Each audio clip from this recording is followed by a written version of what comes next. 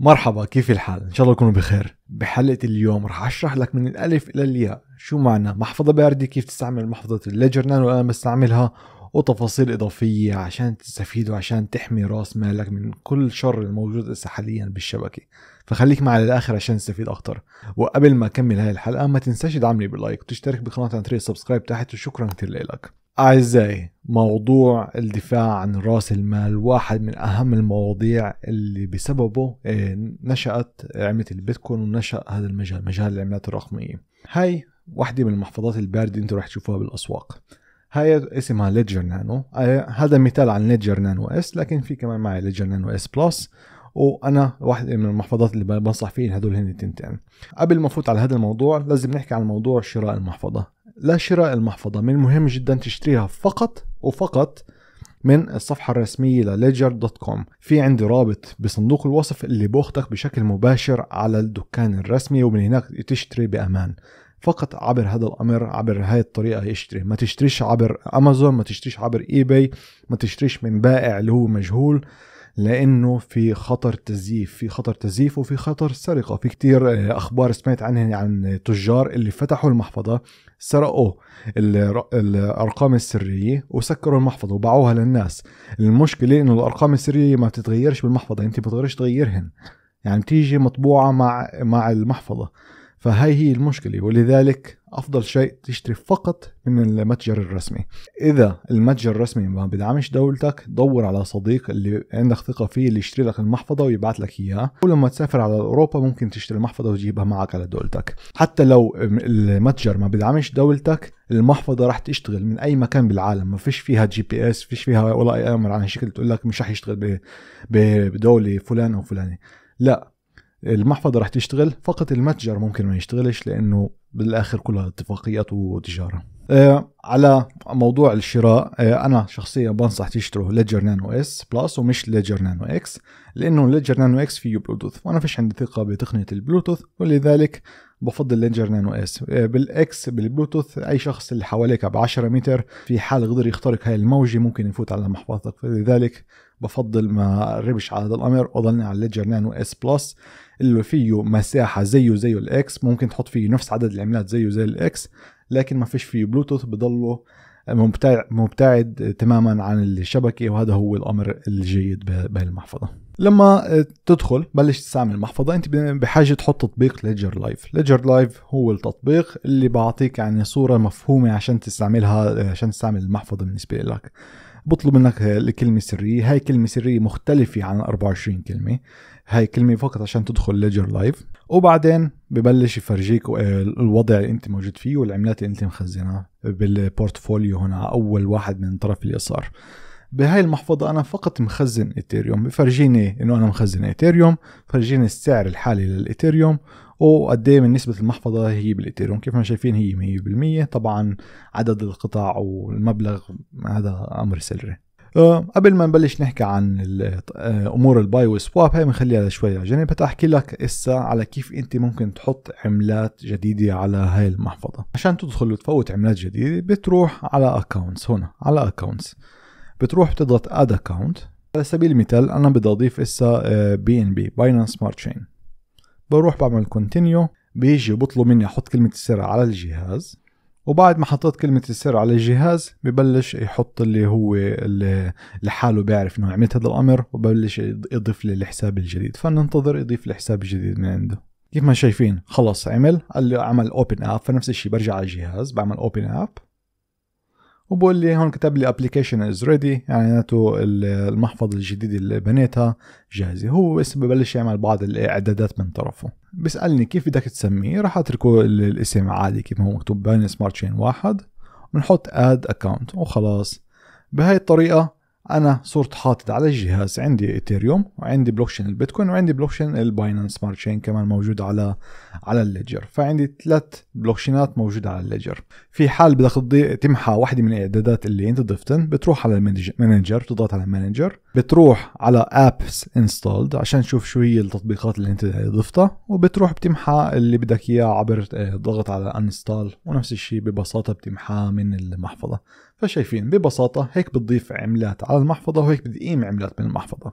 طيب أنت ممكن تسألني طيب وليد أنا كيف بقدر أضيف مثلا USDT على الإيثيريوم اللي هي من ERC 20 كيف أنا بقدر أضيفها هنا؟ كيف أنا بقدر أبعتها؟ إذا بروح بدور على USDT ما فيش. ما كيف أنا بقدر أبعت USDT على المحفظة؟ وهنا الجواب ببساطة بسيط جدا. أي عمله اللي أنت بتبعتها آه، من فوق بلوكشين اللي هو موجود فاي عمله من فوق ال Binance Smart Chain أو أي عمله من فوق الايثيريوم وأنت بتعرف إنه هاي العملة مدعومة بال Ledger مدعومة بالمحفظة فأنت بتبعته على عنوان مثلا إذا إذا أنت بتبعت يو اس دي تي بالاي ار سي 20 أنت بتبعته على عنوان الايثيريوم اللي موجود معك بالمحفظة. إذا أنت تبعت بدك تبعت USDT بال BEP 20 بال Binance Smart Chain. على سبيل المثال بتروح بتبعته على عنوان ال Binance Smart Chain من المحفظة الموجودة معك. قبل ما أدخل أفرجيك كيف أنت ممكن تأخذ العنوان هات افرجيك بسرعة كيف أنت ممكن تفحص هل بالفعل العملة اللي معك مدعومة بال Ledger ولا لا. في صفحة ب Ledger dot com slash supported crypto assets اللي انت ممكن تحط فيها العملة اسم العملة وتشوف هل هي مدعومة ولا لا بالمحفظة معك. على سبيل المثال على موضوع ال USDT بتشوف إن اليو إس دي تي إي آر سي 20 مدعومة فهي موجودة هنا ممكن تبعتها على عنوان على عنوان الإيثيريوم. وطبعا كمان بقول لك إنه USDT من من TRC 20 كمان مدعومة. ممكن تروح وتشوف إنه بتشوف إنه مدعومة كمان آه، آه، التوكنات ال TRC 20 مدعومة على آه، على ال Ledger فهيك ببساطة أنت بتعرف أي عملة اللي أنت بدك إياها مدعومة ولا لا وعلى أي شبكة. وكمان مرة برجع بقول لك إذا تبعت عملة من فوق ال ERC 20 بتبعتها على على عنوان الإيثيريوم وإذا بتبعت عمله من فوق ال Binance Smart Chain على سبيل المثال تبعتها على عنوان عملة ال BNB اللي معك وهي رح تبين تحت العمله مثلا عشان نشوف هذا الأمر أنا بعرف إنه مرة من المرات كان معي USDT بالإيثيريوم اللي نقلتن من المحفظة لكن بضلوا موجود هنا شايفين. بعته على الإيثيريوم وبين تحت الإيثيريوم USDT هسه فيش معي شيء صفر ناقص 100% لكن إذا كان معك شيء ببين لك هناك قديه معك قيمة العملات اللي معك. وهيك أنت بتبعت العملات اللي بدك إياها. هسه عشان تأخذ تستخرج عنوانك من ال Ledger بتروح هون على طرف اليسار بتحط receive وبتحط العملة اللي بدك إياها. على سبيل المثال بدي أخذ ايثيريوم أنا عمل استقبل الايثيريوم بعمل continue بيقول لي روح على ال app افتح المفتاح أعطيني المفتاح. وهنا بعطيني عنوان الايثيريوم اللي بدي إياه وبعد ما أتأكد إنه أخذت عنوان الايثيريوم وفحصته مع العنوان الموجود هنا. دائما افحص العنوان الموجود أمامك ومع العنوان الموجود على جهازك. لأنه هذا اللي أمامك ممكن يكون فيه تهكير ممكن يكون أمر فيه فيروس. فعلى هذا الجهاز مش راح تلاقي فيروس. فعلى هذا الجهاز تاكد انه العنوان هو مناسب. إذا هذا العنوان اللي معك بتأخده بتنسخه وبتحطه بالمحفظة أو بالمنصة اللي بدك اللي منها عم تبعت الإيثيريوم أو أي عملات ال ERC 20 من المنصة. بعد ما تخلص في حال بدك تبعت عملات من محفظتك لمنصة خارجية بتروح على طرف اليسار بتحط send بتنقي العمله اللي بدك إياها وبتحط عنوان الإيثيريوم ERC 220 الا المنصة اللي بدك إياها. نفس الشيء اليو اس دي تي بتحط يو اس دي تي بتحط عنوان اليو اس دي تي من الاي ار سي 20 بالمنصة اللي بدك إياها. Binance Smart Chain نفس الموضوع. بتروح بتاخده بتحطه بتاخذ العنوان اللي من المنصة بتحطه هنا آه، أمامك. إسا من طرف العموله لعمولة السحب اعرف إنه محفظة Ledger ما بتاخذش عموله هي مش مش بتربحش من العموله هي بتربح من المبيعات. هذا هو مصدر آه، رزقها ففيش عندهن عموله اللي بتدفعها ل Ledger لكن العموله بتدفعها هي عموله زي بتدفعها على البلوكشين بشكل عام. مثلا إذا أنت معك بتبعت على ال ERC 20 على الايثيريوم تأكد إنه معك عملات ايثيريوم بحسابك بال Ledger عشان تقدر تبعت. على سبيل المثال معك 100 USDT لكن معك صفر ايثيريوم فأنت مش رح تتمكن تبعت ال USDT على محفظة أخرى إلا إذا حولت ايثيريوم على محفظتك أو عملت swap لل USDT لبعض الايثيريوم عشان تدفع العمولة عمولة التحويل. نفس الأمر ل Binance لازم يكون معك BNB إذا معك TRC 20 تحط ترون بحسابك وإلى آخره. هذا مطلوب هيك بتشتغل البلوكشينات ما فيش يعني طريقة أخرى اللي تحل هالمشكله ولذلك أنا دائما مثلا بالإيثيريوم بمسك محتفظ على إيثيريوم إضافي بمحفظتي عشان أقدر ابعت في حال احتجت. عن طريق ال Ledger Live في كمان عندك إمكانية تدخل تروح تشتري عملات آه، تبيع عملات أو تعمل swap لعملات. أنت عشان تشتري وتبيع عملات يعني مقابل كاش بال Ledger عندنا شراكة مع أطراف ثالثه اعرف إنه ال Ledger هي مش منصة هي مش broker ما هي ما بتقم بتعملش ولا أمر بيع ولا شراء هي بتشتغل مع منصات تانية. على سبيل المثال آه، أنا مثلا بدي أشتري بيتكوين هنقول بروح بتشوف إنه في عندي أربع منصات اللي عبرها ممكن أشتري بيتكوين. باللحظة اللي أنا دخلت على المنصة هاي رح تبعتني على صفحتهن. مثلا MoonPay رح يبعتوني على صفحتهن عشان أشتري آه، بيتكوين عبر طريقهم وهن رح يحولوا لي البيتكوين اللي شريته على عنواني بالمحفظة هنا موجود هنا. نفس الشيء لما أبيع. أنت بدي ابيع بيتكوين؟